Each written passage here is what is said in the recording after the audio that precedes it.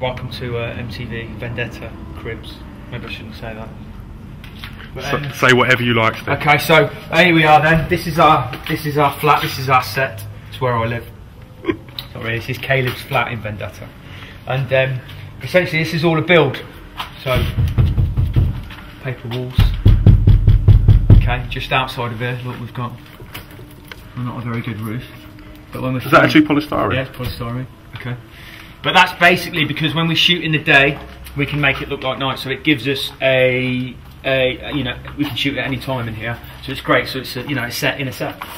So we come in here, and this is Caleb's Caleb's flat. We've literally just done a ridiculous shootout, um, mainly in that corridor that you just saw there. So we've got the wall that went.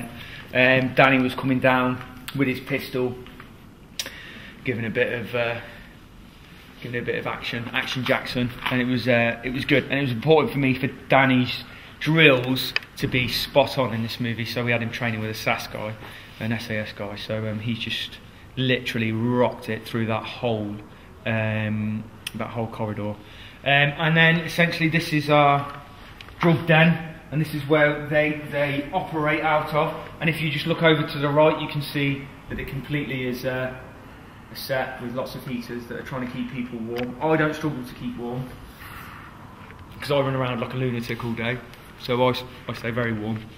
It's nice of the Peacock Gym to let you have this this access, isn't it? Wow, I mean those guys have been unbelievable. Um, I see Martin every day, and he is uh, he's something else.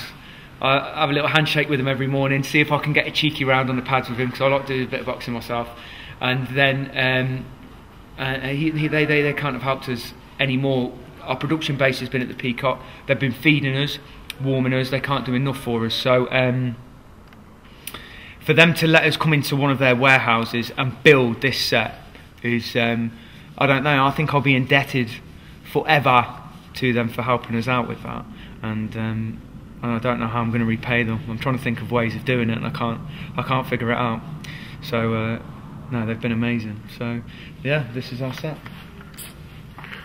All right, Steve. How was that? Well, I thank you for taking us round your make believe world. Yeah, yeah, my make believe world. you don't want to get in my mind, mate. It looks a little bit like this. So, uh, yeah.